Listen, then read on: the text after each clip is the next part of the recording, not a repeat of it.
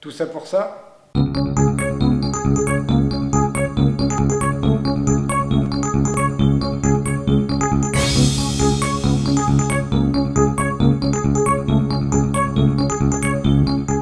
Avez-vous intégré dans votre stratégie de responsabilité sociétale les risques et les opportunités associées au lieu géographique de vos activités?